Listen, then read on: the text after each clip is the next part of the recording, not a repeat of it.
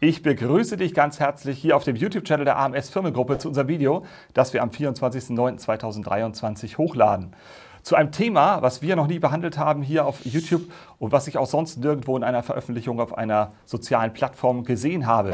Also wenn du Immobilieninvestor bist und dich für den Kauf von Immobilien interessierst, dann ist das unheimlich spannend für dich. Dann bleib unbedingt dran und bring ein paar Minuten Geduld mit für diesen dichten Content hier. Wenn wir als Investoren uns für eine Immobilie zum Erwerb interessieren, müssen wir oft schon vor einer Besichtigung, spätestens mit einem Kaufpreisangebot, dem Makler und letztlich dem Verkäufer nachweisen, ob wir den Kaufpreis wirklich zahlen können. Entweder durch eine Finanzierungsbestätigung oder durch Eigenkapitalnachweis. Was die meisten überhaupt nicht machen, ist mal beim Verkäufer nachzufragen, ob dieser denn überhaupt problemlos die Immobilie liefern kann oder ob sich das verzögern könnte. Nun wirst du vielleicht denken, na und? Wenn die Immobilie nicht lastenfrei geliefert wird, wird der Notar den Kaufpreis auch nicht fällig stellen. Das schützt mich als Käufer doch. Und das ist auch absolut richtig. Du wirst den Kaufpreis nicht verlieren. Und wenn das Notariat einen Fehler machen sollte, auch das habe ich in über 20 Jahren schon erlebt, dann ist der Notar versichert. Aber es kann sehr wohl zu Verzögerungen bei der Abwicklung kommen. Das heißt, der Notar kann den Kaufpreis nicht fällig stellen und die Bank kann im Regelfall noch nicht auszahlen, wenn nicht andere Objekte mitbeliehen sind. Wenn du dann die Kaufnebenkosten mitfinanziert hast, was allerdings meist nicht der Fall ist, hast du schon ein Problem, weil Notarkosten und vor allem die Grunderwerbsteuer meist nach acht bis zwölf Wochen fällig werden. Die Maklerkotage sogar noch früher. Bei einem Kaufpreis von zum Beispiel 270.000 Euro sprechen wir über eine Summe von ca. 25.000 bis 30.000 Euro Kaufnebenkosten, je nach Bundesland. Auf jeden Fall aber musst du nach nicht allzu langer Zeit die sogenannten Bereitstellungszinsen bei deiner entfinanzierenden Bank zahlen. In den meisten Darlehensverträgen sind drei Monate Bereitstellungszins frei. Danach berechnet die Bank 0,25 Prozent pro Monat auf den noch nicht ausgezahlten Darlehensbetrag. Das sind immerhin auch 3% pro Jahr ohne dass du Mieteinnahmen hast oder im Objekt wohnst, wenn du es im Kaufvertrag nicht anders regelst. Aber dazu kommen wir gleich noch. Nehmen wir das Beispiel von eben, ein Bestandsobjekt mit einem Preis von 270.000 Euro und du finanzierst auch die 270.000 Euro, dann sind 0,25 Prozent immerhin 675 Euro monatlich für nichts.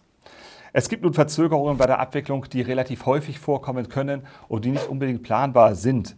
Also das sind zum Beispiel Personalengpässe beim Notariat oder Grundbuchamt, die die Abwicklung verzögern. Planbar ist zum Beispiel das Mietervorkaufsrecht, das die Abwicklung ungefähr zehn Wochen verzögern kann. Wenn du mehr darüber wissen möchtest, empfehle ich dir dieses Video hier oben links. Ich glaube, das ist links bei mir, genau. Mietervorkaufsrecht, das musst du als Verkäufer und Käufer beachten. In den Städten, in denen wir kaufen, weiß ich zum Beispiel ungefähr, wie lange es bei Behörden dauert und kalkuliere das bei der Vereinbarung des Fälligkeitstermins. Aber das ist nur der einfachste Fall. Wenn du es mit Erbengemeinschaften, vielleicht noch mit minderjährigen Erben dabei zu tun hast, kann sich eine Vertragsabwicklung noch länger hinauszögern. Auch beim Kauf von Insolvenzverwaltern sind einige Dinge zu beachten. Und schwierig ist natürlich auch, wenn die Restschuld der im Grundbuch in Abteilung 3 eingetragenen Bank noch viel höher ist als der Kaufpreis. Denn dann kann sich die Abwicklung sehr viel länger hinauszögern. Wenn du dann selbst einziehen willst und deine alte Wohnung schon gekündigt hast oder verkauft hast, sitzt du auf gepackten Koffern. Dann kommen Kosten für die Unterbringung der Möbel dazu und Miete für die zwischenzeitliche Unterkunft. Muss der Kaufvertrag dann sogar rückabgewickelt werden, kann es ganz bitter werden. Dann verlangt die Bank die sogenannte Vorfälligkeitsentschädigung und da kommt im aktuellen Zinsniveau mit Sicherheit eine fünfstellige Summe heraus. Dazu die Maklerkotage, die weg ist. Klar, in manchen Fällen hast du einen zivilrechtlichen Anspruch an den Verkäufer auf Erstattung, weil dieser ja für die Vertragsstörung verantwortlich ist. Aber erstens, das dauert sehr lange, ist mühselig und du musst erhebliche Kosten für den Rechtsstreit aufwenden. Dein Geld ist erstmal weg. Und zweitens hängt es davon ab, ob der Verkäufer überhaupt Geld hat, ob da etwas zu holen ist. Und drittens, wenn du zum Beispiel von Insolvenzverwaltern kaufst, dann lassen diese sich immer unterschreiben, dass sie keine Haftung übernehmen. So, jetzt hoffe ich, dass ich dich genug sensibilisiert habe und dein Interesse für das Thema geweckt habe. Wie gesagt, ich spreche hier aus Erfahrung, nicht aus der Theorie. Deshalb bekommst du auch praktische Lösungen an die Hand. Und wenn dir solche praxisorientierten Videos gefallen, dann lass mich das gerne wissen, indem du diesem Video ein Like gibst und natürlich gerne auch unseren Kanal hier abonnierst. Nehmen wir als erstes den Fall, dass du von Erben kaufst. Vor der Kaufpreiszahlung, also bevor du deinen Kaufpreis zahlen kannst, muss das Grundbuch berichtigt sein, sodass die Erben als Eigentümer im Grundbuch eingetragen sind. Um das zu beantragen, benötigen die Erben einen Erbnachweis durch öffentliche Urkunde. Das kann ein notarielles Testament sein, ein notarieller Erbvertrag oder es muss der Erbschein abgewartet werden, wenn zum Beispiel nur ein handschriftliches Testament vorliegt.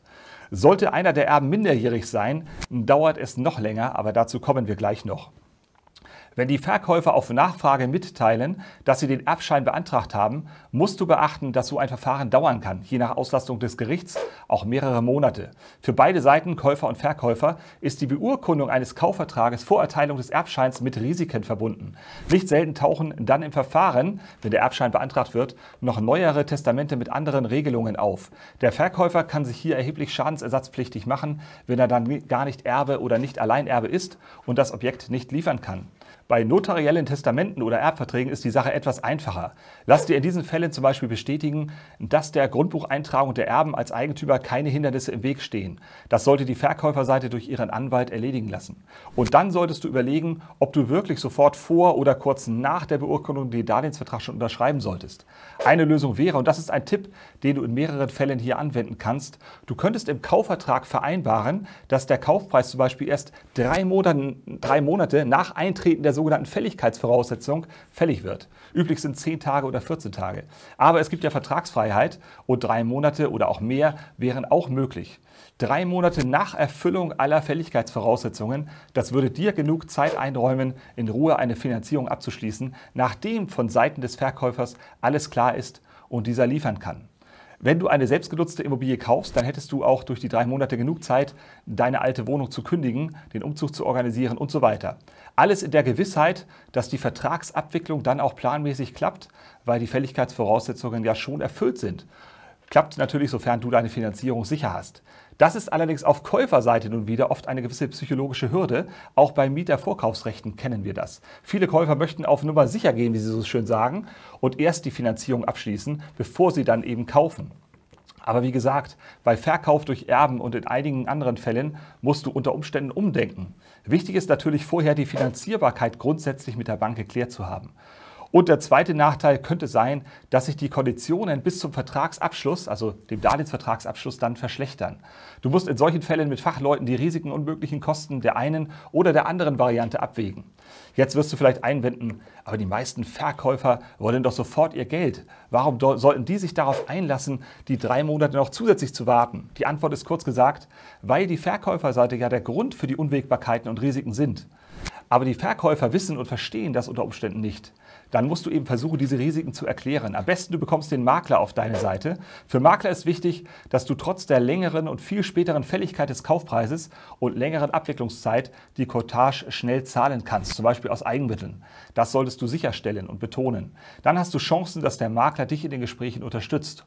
Oder du machst mit den Verkäufern, also diesen Erben, bei einem Notar oder Rechtsanwalt einen Termin und der klärt dann die Verkäufer über die möglicherweise längere Abwicklungszeit auf. Wenn minderjährige Erben involviert sind, wird die Sache richtig kompliziert. Ich will das jetzt hier nicht zu sehr ausführen, nur einige Schlagworte. Der Kaufvertrag muss dann vom Familiengericht genehmigt werden und der Notar sollte den Vertrag am besten vorher mit dem Familiengericht abstimmen. Übrigens, es ist üblich, dass so eine Genehmigung locker mal sechs Monate dauern kann.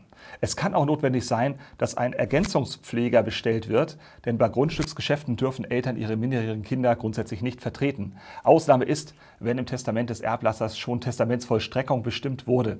Dann muss der Notar prüfen, ob die Formulierungen eine Abwicklung zulassen, zum Beispiel ob Befreiung von 181 BGB vereinbart wurde und so weiter. Wenn du also mitbekommst, dass minderjährige Erben dabei sind, dann solltest du erst den Kaufvertrag beurkunden, wenn das Familiengericht den Entwurf kommentiert und genehmigt hat. Und die Abwicklungszeit beachten, das Thema hatten wir ja eben schon, wie du da reagieren kannst. Natürlich musst du nicht jeden Fall, den wir hier darstellen und jeden Schritt, wie es dann juristisch gelöst wird, auswendig wissen. Dieses Video soll dich für die schwierigen Fälle sensibilisieren, sodass du solche Konstellationen erahnst und relativ schnell erkennen kannst um dann schnellstmöglichst Fachleute hinzuzuziehen und deine Kaufverträge und Finanzierungen bestmöglich anzupassen an die Gegebenheiten. Relativ häufig kommt es auch vor, dass Kinder oder Enkel eine Immobilie für ihre Eltern oder Großeltern verkaufen. Die Eltern sind zum Beispiel schon im Heim und das Haus soll verkauft werden. Meist hat man als Käufer ja aber mit dem Makler zu tun und bekommt dann nicht unbedingt mit, in welcher Konstellation verkauft wird. Aber erstens frage ich den Makler immer, nach den Verkäufern und deren Interesse. Und zweitens siehst du auch das Geburtsdatum der Eigentümer im Grundbuch. Die Frage ist also bei älteren Eigentümern, können diese noch selbst zum Notartermin kommen oder haben die Kinder oder Enkel eine notarielle Vollmacht von ihren Eltern oder Großeltern? Wenn keine Vollmacht vorhanden ist, sind die Eltern noch geschäftsfähig. Dann könnten sie ihren Kindern oder Enkeln noch eine notarielle Vollmacht erteilen. Notare kommen dafür auch in Altenheime und Krankenhäuser. Der, der Notar sollte dann prüfen, ob die Vollmacht alle wichtigen Inhalte für einen Kaufvertrag enthält. Da gibt es einige Formulierungen, die die Vollmacht enthalten muss. Für den Fall, dass die Eltern oder Großeltern nicht mehr geschäftsfähig sind und auch keine notarielle Vollmacht erteilt haben, muss ein Betreuer durch das Gericht bestellt werden.